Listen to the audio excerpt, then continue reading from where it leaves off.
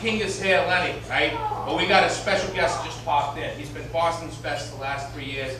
He's opened up for Ray Charles, Aretha Franklin, and you're gonna love him. The one the only Paul D'Angelo. Let him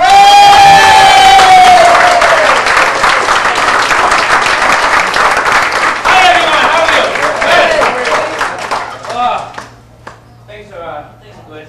I was seeing uh, in the paper that a lot of people were concerned that the school children were getting overweight. They can't understand why. I know why. I got stuck behind a school bus the other day. You get stuck behind a school bus on the way to work in the morning? Call and sick.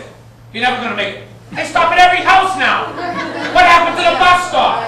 It's like a yellow limousine. You gotta be kidding me. Hi Joey, get on the bus. Don't get too comfortable. I'm only going next door to pick up your neighbor Jimmy. Hi Jimmy, thanks for not walking 50 feet to your left, you fat little pig. You gotta be kidding me. We're turning kids into little wimps. I remember some parents were trying to get Little League to change to a softer ball. They were afraid the kids would get hurt if they used a real baseball. The parents' heads are getting soft. There won't be the crack in the bat anymore. There'll be a poof when the inflatable bat hits the Nerf ball. run to first base. Don't let it run. The chubby kids will be jealous. No walk briskly. when you get to first base, there'll be a brief rest period. Refreshments will be served. Don't take his blood pressure. There'll be a lawyer there. Were you hurt in any way on the way to first base? Teach your kids responsibility too. Everybody passes the buck. Never anybody's fault anymore. I saw a kid shot up this high school. They interviewed the parents. Of course, it's never the parents' fault.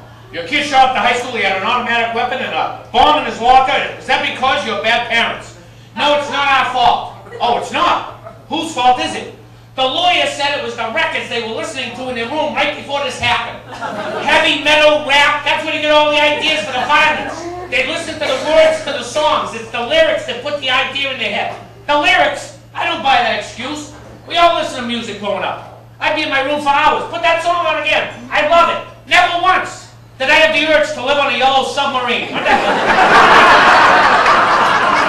I've never been in the desert with a horse. What's your name? What the hell? kind of horse has no name. You never saw the sheriff, the deputy. Did you ever kill anybody softly with your song? I will admit I have been known to whip it, whip it good.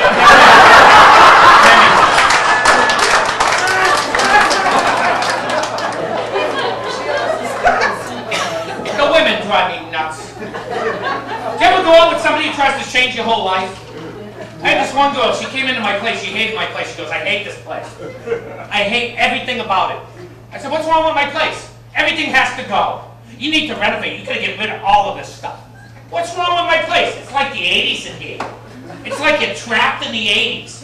I said, well, that's too bad. Because that's the way. Uh-huh, uh-huh. I like it.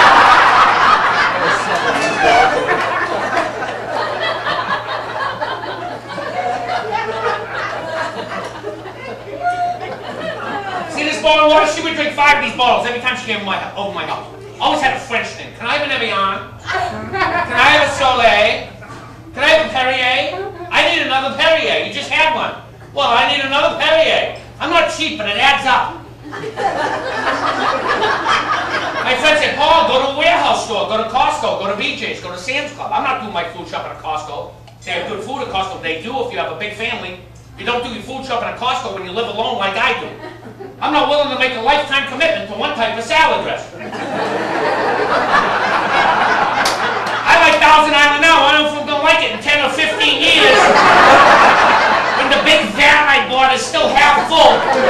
My friends are going, this is stale. No kidding, it's been stale for the last nine years. How many times? I saved a buck fifty in 1997. I'm a financial wizard. So for a year, this girl drank so much of my Evian. For a year, she drank so much of my Perrier. I figured she became, what's that French word, a connoisseur of the bottled water. But she wasn't a connoisseur. Because the last six months, I was filling up the bottles from Le Fosset. from the waters of the Tarpon Reservoir.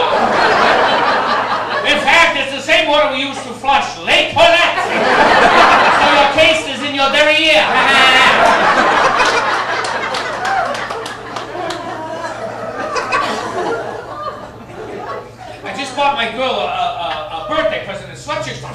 Because so much pressure. The most pressure a man can be under to buy a present is to buy the wife or girlfriend a birthday gift or a Christmas present. Do you know why? Doesn't need to be that difficult. Doesn't need to be that, that tough. The reason is because even though it might make the most sense, might be the most practical thing you could do. The one thing you could never, ever get the wife or girlfriend for a Christmas or birthday gift is a gift certificate. Why? Because we have been told over and over again that it takes no thought to get a gift certificate. It actually takes more thought than you can imagine. So the next time your wife yells at you and says, I can't believe you got me a gift certificate for Christmas, this took absolutely no thought whatsoever. Your answer should be, you have no idea how much thought went into buying you this gift certificate. First, I thought about buying you a gift, but I didn't know what to get you. So I thought, and I thought, and I thought some more, and I still couldn't think of anything you really need. So then I thought about going to the mall and looking around. But then I thought about wandering aimlessly for hours and hours and still having no idea what the hell you could possibly want. Then I thought about getting frustrated, spend a lot of money to buy something you're probably not going to even like anyway. Then I thought about you complaining, go, what'd you get this for? This is stupid, I hate it. What the hell are you thinking? Then I thought about muttering under my breath, well maybe next year I won't get you nothing. Then I thought about that starting a big fight. Then I thought about the fight leading to us breaking up. Then I thought about you getting bitter and taking your car key and dragging it across the side of my brand new car. Then I thought about having to get a restraining order against you. Then I thought about you asking for a divorce and trying to get half my stuff. Then I thought for just a second about killing you and burying you in the backyard. But then, suddenly, my thought turned to the possibility that I could be single again. And then I thought that maybe I could meet a pretty young girl with a nice ass and a trust fund would appreciate all the things I do and doesn't give me a hard time like some other people I know. But then I snapped out of it and said, you know, on second thought,